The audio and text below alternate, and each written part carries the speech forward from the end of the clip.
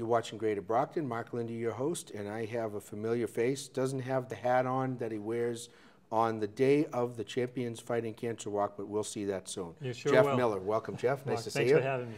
Um, we are at the 18th annual Champions Fighting Cancer Walk. I remember the first because we've been covering this event from yeah, day one. Have. Yeah.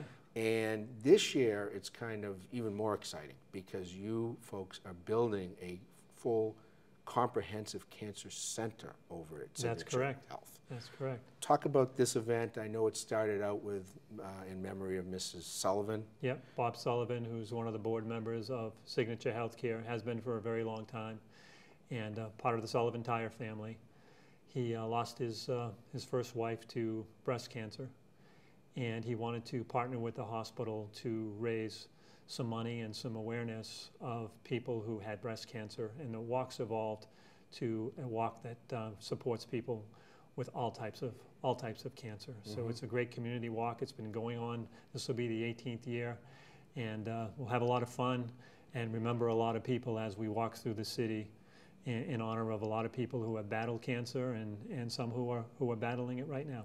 Well, when you're out there in the community, I think everybody knows somebody affected by cancer, someone in their family, someone who's a friend of theirs, someone who they work with.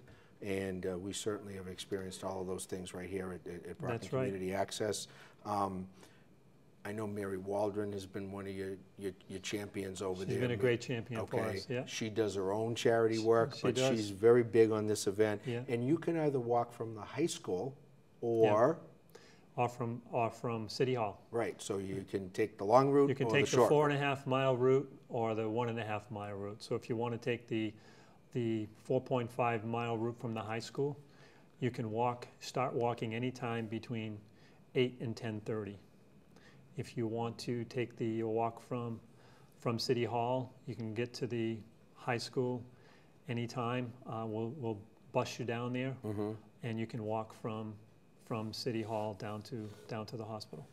Now, I know our own Jay Miller here, not to be confused with Jeff Miller. That's right. okay, has walked it with a camera, walked in it, told his own personal story as Yes. well. Um, everybody can get involved. It's not like the the big Jimmy Fund walk that you have a certain minimum amount of money That's that you right. have to raise. Is there a minimum? There is no minimum. This is truly a community walk. So Okay. if, if you want to walk and you want to remember somebody or, or support somebody, you can come and walk. You don't have to. You don't have to pay anything. You know, obviously, we're looking for for money to because the money goes back into the community Mhm. uh, for our cancer center and to support people who are fighting cancer in the community. But if you if you just want to walk and you aren't able to make a donation, come on out and walk. We'll be happy to have you join us for the day.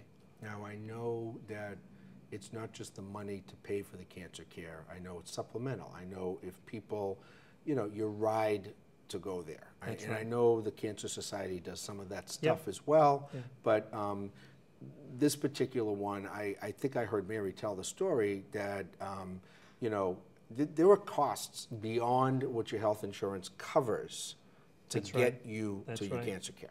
Yep. Tell us a little bit Yeah, about so there, there's, there are people, first of all, who, who are coming for, for cancer care who really can't afford the copays. Mhm. And there are people who can't afford the transportation. So if you were working, you're, you're a working mom, maybe you're a single working mom, and suddenly you find yourself with, with cancer and you have to come for treatment every day and you've lost your job for a couple of months and you're trying to take care of your children, how do you, how do, you do that? So some of the funding that, uh, that comes into the organization through the Cancer Walk and, and in other ways, we've established what we call the We Care Hope program. And that program is used to support people fighting cancer in the community. And similarly, the Sullivan, Christine Sullivan uh, Foundation, they support uh, several different charities in the community. Uh, the Ellie Fund, the Cancer Support Community of, of the South Shore, um, Live, Learn, Love, I believe, is the other charity. So they have several charities that, that they support that provide direct assistance to, to patients and their families who are battling cancer. Now, the thing I noticed is the kind of the team spirit. You got people that remember individuals, there's whole families, there's people that are co-workers together, and uh, all those short, uh, all those stories are shared on that day. I know you kind of rally the troops at the right. end over at the hospital itself, and you have like a, a cookout, a hoedown. I That's think that right, might that's have right. anything to do with the hat. No, that's No. just a. It's just a trademark just hat? a trademark hat for that, for that day, yeah. Okay. Um, so tell us how people can get involved. I've seen the flyers all over the city, but Yeah. web, simple things like website, phone number, things like that. Yeah, so uh, signature hyphen healthcare.org. Mm-hmm. You go on our website and, and check it out and register there. Uh, you can call Darlene Sareva, who's our event coordinator, at 508 941 7179. 508 941 7179. Darlene will be happy to talk with you. Uh, we can send you out a, a pledge form, uh, just give you general information on, on the walk. And the website itself has a comprehensive, it, it's all there. All the information is there. I went to look this morning right. about your starting time, Yeah. about the different locations. You couldn't make it easier to, to do Yeah, that. and you can actually set up a team on the website, so if you wanted to sign up and invite your friends to participate, they can register online and raise, raise funds online for, for the Cancer Walk. Do you have a Facebook? We do, Okay. yeah. So we're going to get you that info so you can put this up. okay? and put it out there and let people know about it. Um, how exciting is the whole prospect of building a comprehensive cancer center right here in the city of Champions? I, I, I watch it as it's, it's going up. Absolutely so exciting. We, we're scheduled to have this building complete by October of this year. hmm And we will have medic, me- medical oncology and radiation oncology in the same building with totally coordinated care. We'll have a nurse navigator in, in the area. We'll have our own pharmacy, our own lab, everything all in one, all in one location here in Brockton. So people who currently go to Boston to receive their care will no longer have to have to go to Boston. And this is done in conjunction with Beth Israel Deaconess Medical Center and the Harvard Medical Faculty. So this is a, this is a top top rate service right here for the people of Brockton. Yeah, those two uh, absolutely outstanding organizations, and uh, it's hard. I mean, I, I, I've dealt with my dad, and um, we we had to make the choice. He wanted to stay as local as he could get. Um, now there would have would have been another option for That's us. right. Um, That's right. and um, because I think the closest community-based hospital is um, South Shore. So sure, that's so correct.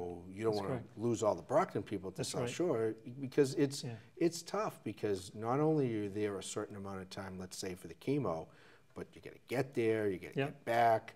I, I like the whole idea of the pharmacy right there. You get Yeah. everything all under one roof, one, one-stop shopping. So what you do with with this walk also, you know, would, would help that Oh, most definitely, in, in a most way too. definitely, yeah. So anything that I didn't cover that yeah, you I want just to say? wanted to say we're, we're so fortunate uh, to have two great groups in the in the radiation oncology group that's been providing services at the hospital since I believe 1986. Mm-hmm. So they're moving over to this new building, and we're fortunate enough to hire a gentleman by the name of Dr. Rolf Frater. He's Mm-hmm. a medical doctor and a PhD, who came through us through the Dana Farber system, and worked at South Shore and uh, is very well known and very well respected for, for cancer care treatment in the area. And, and he's brought his team with him.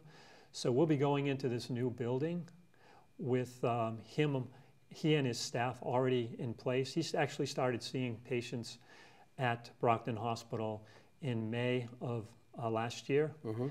And he's, he and his staff have already seen over a thousand consults uh, for cancer patients. So the need is great in this area, and we're, we're very happy to be able to bring this service here. Well, thanks for coming back. It's always Thanks a for pleasure having to, us, Mark. to Appreciate it. help you promote it. Thank you so much. You're welcome. You are watching Greater Brockton. Mark Linde, your host. Stay tuned for more events, places, people, and faces right here in the City of Champions.